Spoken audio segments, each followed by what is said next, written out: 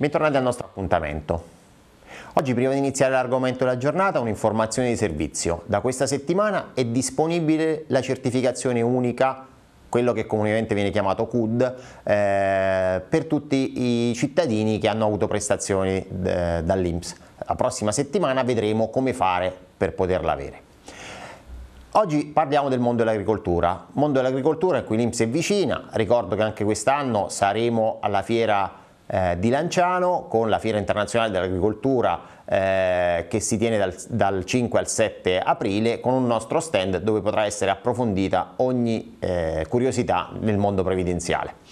Oggi parliamo della disoccupazione agricola. Che cos'è la disoccupazione agricola?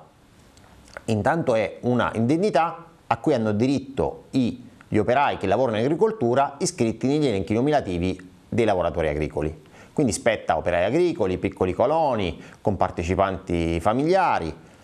Vediamo invece a chi non spetta. Non spetta a lavoratori che soprattutto presentano la domanda oltre il termine previsto, perché la disoccupazione agricola ha un termine ben preciso.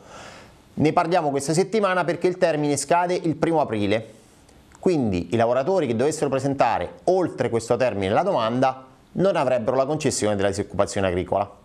Quindi non spetta neanche ai pensionati, non spetta a quelli che si dimettono volontariamente e non spetta a coloro che sono extracomunitari con permesso di soggiorno per lavoro stagionale. Quindi non spetta la disoccupazione agricola. Vediamo quali sono i requisiti. I requisiti sono, abbiamo detto, l'iscrizione negli elenchi nominativi di lavoratori agricoli, per l'anno a cui si riferisce la domanda. Ricordo che la domanda che si presenta quest'anno è riferita all'anno 2018, cioè l'anno scorso. Devono essere almeno due anni di iscrizione all'assicurazione contro la disoccupazione e almeno 102 contributi giornalieri nel biennio 2018-2017, quindi l'anno a cui si riferisce è quello precedente, quindi 102 giornate, questo è l'altro elemento importante. Quando si presenta? Abbiamo detto che va presentata entro un termine perentorio, si poteva presentare dal 1 gennaio ma scade il 1 aprile, scadeva il 31 marzo ma è stata prorogata al primo giorno lavorativo successivo visto che il 31 marzo è domenica. Quindi è molto importante per i nostri ascoltatori che avessero diritto a questa prestazione presentarla perché quelle successive al 1 aprile non possono essere prese in considerazione. Come si fa a presentare queste domande?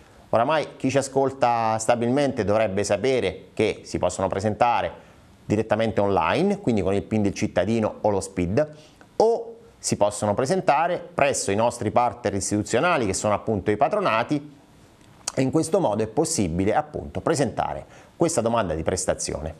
Grazie e arrivederci.